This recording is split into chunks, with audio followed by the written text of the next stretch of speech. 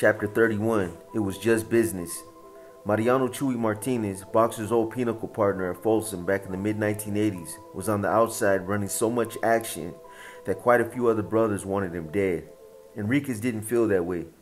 He liked Chuy, and for good reason. After Black Dan and Weddle Shy were convicted at the RICO trial and locked up in the federal system, it was Chuy he counted on as a reliable MA contact on the street. He was a mafioso who allowed my business interests to flourish. He knew Huck, my crew chief, and wouldn't hesitate to lend a helping hand anytime I had a turf dispute. Unlike some other carnales, Chuy never attempted to move in on my territories. He had a thriving operation of his own throughout the Los Angeles basin and understood there was enough business for us both. That's why we got along so well. Boxer and Chuy had been made within a month of each other at Folsom in 1985 lived on the same tier, walked the yard together, and bonded. As Mafioso said Enriquez, we were in our honeymoon phase. More than a decade later, both knew that their honeymoon with the mob had turned into a bad marriage. Chuy was a burly, tough cholo with a shaved head and huge, bushy mustache that spread across his face and drooped down at the edges in the style of Mexican revolutionaries Emilio Zapata or Pancho Villa. He was a fearless killer who had been shot so many times himself that he had bullet fragments lodged in his head, chest, and spine. On the other hand, he didn't do drugs, spoke fluent French, loved playing chess, and had more than a mild passion for Snickers candy bars. During Christmas time, he had a ritual of passing out presents to poor children in the Barrio Nuevo Estrada neighborhood where he grew up in East Los Angeles.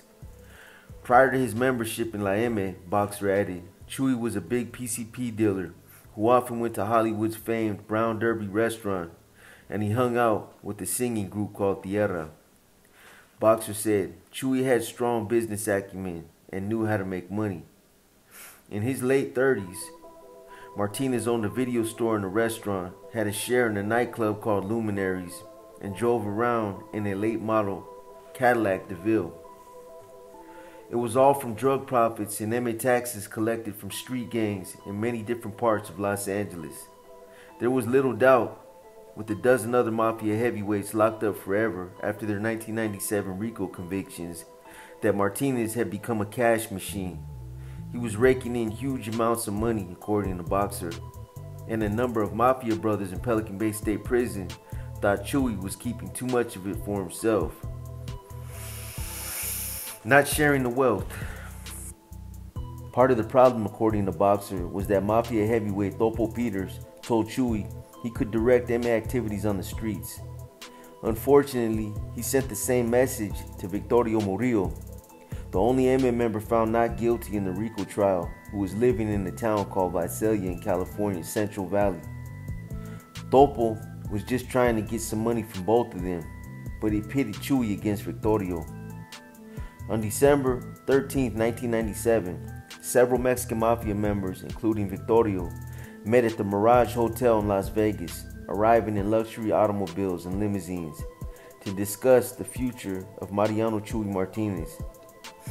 During the meeting, Charles Chacho Woody, a reputed multiple murderer, volunteered to put the hit on Chuy whenever the mob wanted it done. Unfortunately for him, there was an informant in the room wearing a wire, and the FBI was elsewhere in the hotel taking it all down. That informant was John Turscak, aka Stranger. He wasn't even a Mexican. His family was from Czechoslovakia, but he grew up in the thick of gangbangers in Highland Park, Northeast LA. And at 13 years of age, he had joined the Rockwood gang based in Echo Park.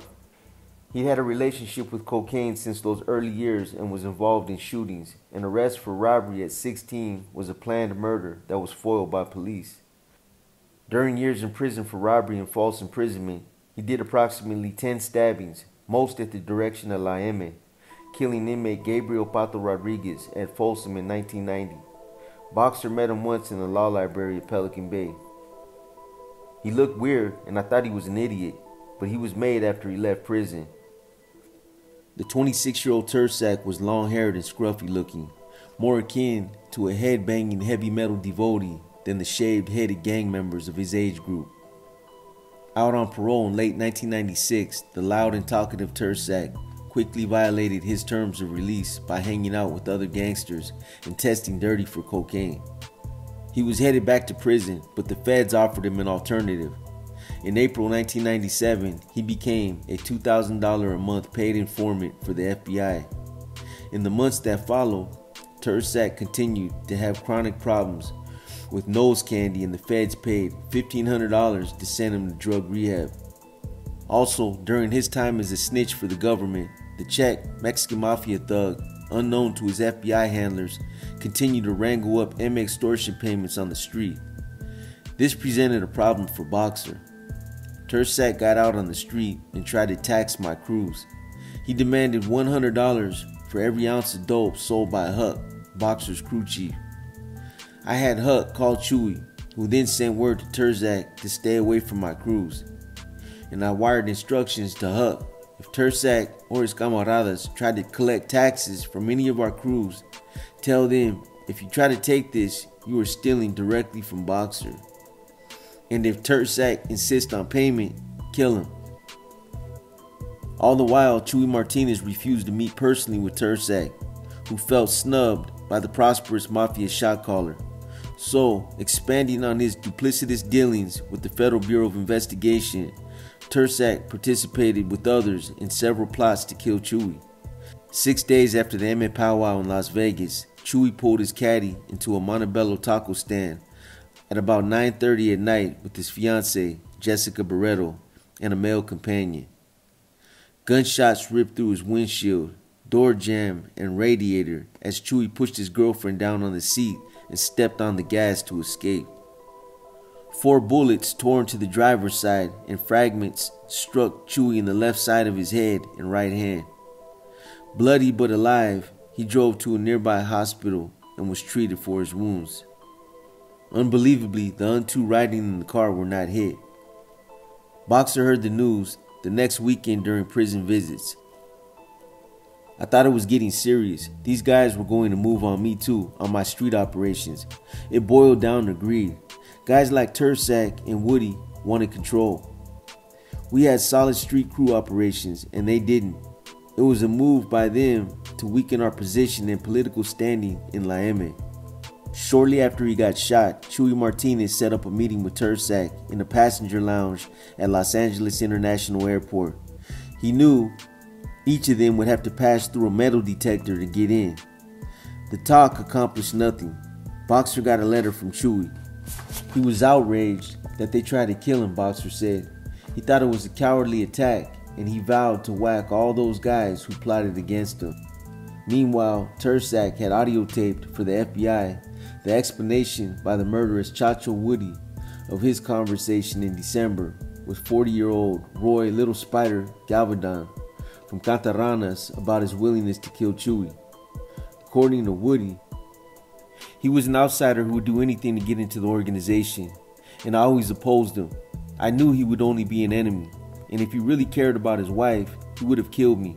The truth is, he didn't care about her, and he had her hustling on the streets to support his drug habit while he was in prison. It's just business. In March 1998, Turscak got a letter from an MA member at Pelican Bay and he turned it over to his FBI handlers. It read, Chuy Martinez is no longer holding honor as a carnal. He has in the past to present violated the law of our ordinance, carnalismo, brotherhood. However, on behalf of all of us carnals, verdaderos, true brothers, here, Chuy must go. Boxer said everyone in the bay was saying kill Chuy because they were jealous of his success. I did what I could to politic in his favor, but it did little to no good. The carnales smelled blood. In April, a frustrated Turscak, unable to get to Chuy, sent orders into LA County Jail to assault two of his associates instead. Mafia henchmen beat up Chuy's nephew in his cell, but he survived without serious injury. One of his crew members was stabbed and hurt badly, but managed to survive. On April 8th, after the attacks, the FBI monitored another telephone conversation in which a mafia member advised Turscak to deal with Chuy and forget about the people around him. Later on that same day, Turscak called another carnal. I will set it up, referring to a hit on Chuy. The next day, still having doubts that Turscak would actually carry out the hit, an FBI agent personally contacted Chuy Martinez at his parole office and warned him that his life was in danger, giving no details. Chuy, forever the gangster, scoffed at the Fed's offer of protection. Chuy couldn't take protection, explained Boxer, because he could deal with it on his own. That kept him honorable in the eyes of the mob. He was a stand up guy. Shortly afterward, there was a twist of events. A gangster, Turscak, had tried to enlist to do the hit. In turn, surreptitiously passed the information along to Chuy. A couple of days later, on April 4th, more than three weeks earlier, 52 year old Victor Murillo had been shot and killed in a dirt parking lot near a Greyhound bus station in Goshen, a little farm town in the Central Valley, not far from his home, 160 miles northwest of Los Angeles.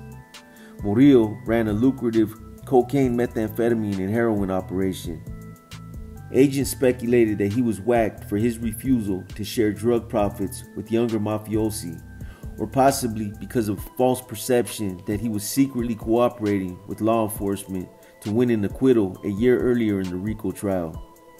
Boxer Enriquez had a more direct theory. Victorio was one of the brothers who met in Las Vegas and decided to kill Chuy. Chuy did the right thing and killed Victorio first. Chuy is the epitome of what a mafioso should be he was smart and took action. With Murillo dead and Turscak locked up, Chuy Martinez pushed forward with his drug operation. According to federal records, Chuy had at the very least two dozen gangs paying him taxes north, south, east, and west of the City of Angels. Also, his faction controlled all MA activities in LA County Jail. He still wanted Turscak dead, too. Boxer said that he received a huila from Chuy in coded language that basically said, Back me up on this murder, and I'll continue to back you up on the streets. On November 17, 1998, federal agents received information that Max Mono Torvisco, Chuy's right hand man, said Turscak would be killed either in prison or when he got out. The next day, there was no waiting when it came time to wiping out a close associate of Turscak's, a big drug dealer named Richard Serrano who was spotted hanging out at a Montebello auto body shop. After Chuy got the word, investigators said that he got on the phone and directed crew members to kill Serrano and all potential witnesses.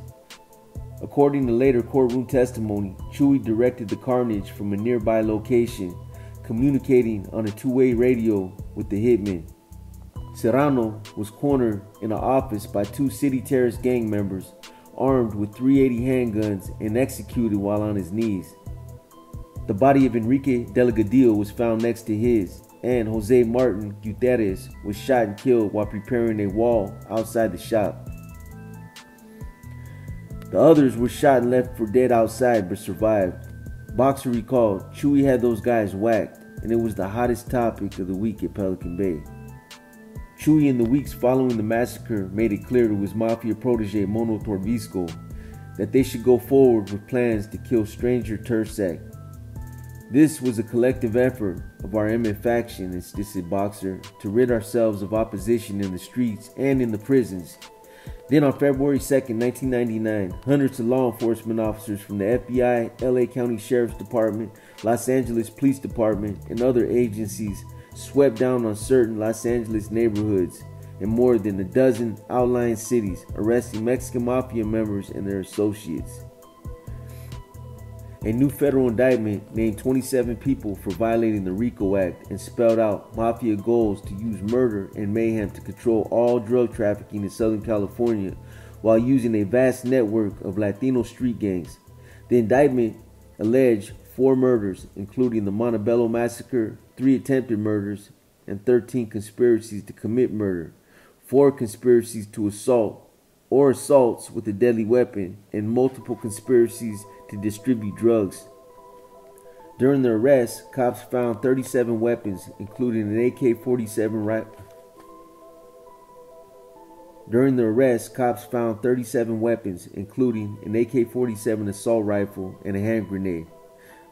Back in the 1950s, we had organized crime dealing with La Cosa Nostra in upstate New York, said FBI Assistant Director in Charge Timothy McDowell.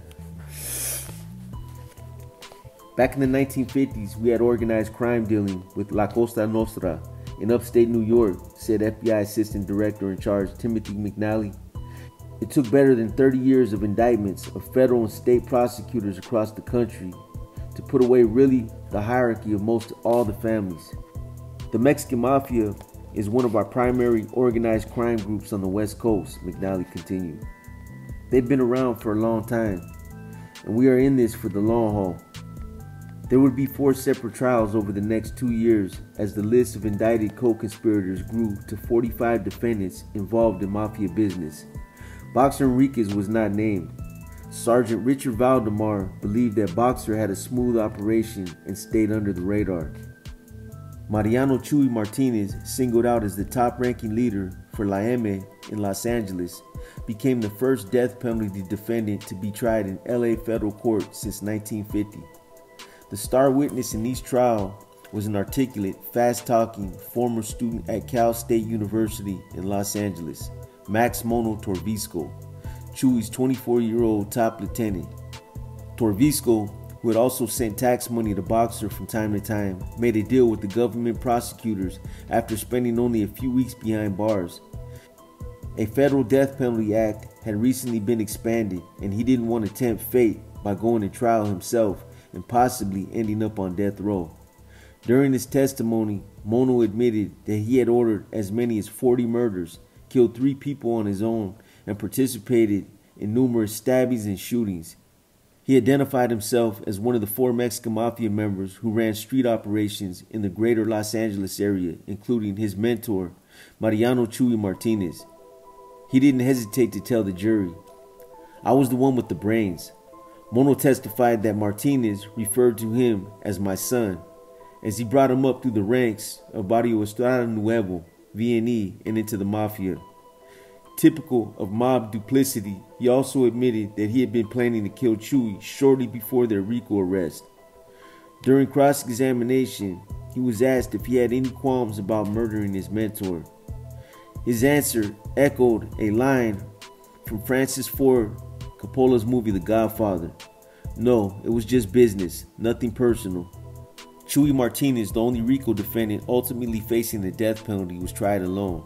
He was found guilty of racketeering, drug dealing, murder for ordering the Montebello Body Shop massacre, and conspiring to murder nine other people, including mafioso turned informant John Stranger Turscak. In a separate trial, five gangsters charged in connection with the Montebello Body Shop massacre, including two actual shooters, were acquitted. The jury foreman later said about key witness Max Torvisco, We found him to be out and out lying about the murders. As soon as we caught him lying, he was dead meat, and so was the prosecution's case. Rival Turscak pleaded guilty to various RICO offenses and was sentenced to 30 years in prison. This is a footnote that's at the bottom of the page. Rene Enriquez claimed that Mono was never a made member of the M.A., despite his claims otherwise. According to Enriquez, Topo Peters told Chuy Martinez that Mono was voted in but that was a bold faced lie. Enrique said that Mono was denied membership and votes at Pelican Bay and at the federal M faction. Topo lied about it because Chuy and Mono were giving money to Sally Peters, Topo's wife, and Peters didn't want those funds to dry up by offending either one of them. yeah, dirty mafia politics, just like dirty NF politics, boy. 43 year old Roy Little Spider Galvedon, who had offered to whack Chuy to make his bones in the mafia, was convicted of racketeering and drug charges.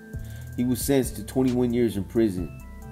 Charles Chacho Woody, also originally in on the plans to hit Chuy, pleaded guilty to murdering Victorio Murillo and was sentenced to 23 years in prison. On February 19, 2003, Max Mono Torvisco, whose testimony in six trials helped produce 50 convictions was finally sentenced to 10 years in federal prison for racketeering. The public and the news media were barred from the heavily guarded courtroom during the proceeding. Mono fidgeted as he stood in front of U.S. District Judge Dickran Tevrizian awaiting the decision. Brian A. Newman, Mono's defense attorney, had asked for a lesser sentence. He pleaded that his client is in extreme danger for the rest of his life. No one argued that assertion. During Chuy's trial, defense attorney Mark Overland tried to paint him as a peacemaker who tried to stop the gangbanging and the killing of innocent people. It didn't quite work. Chuy was convicted on multiple counts.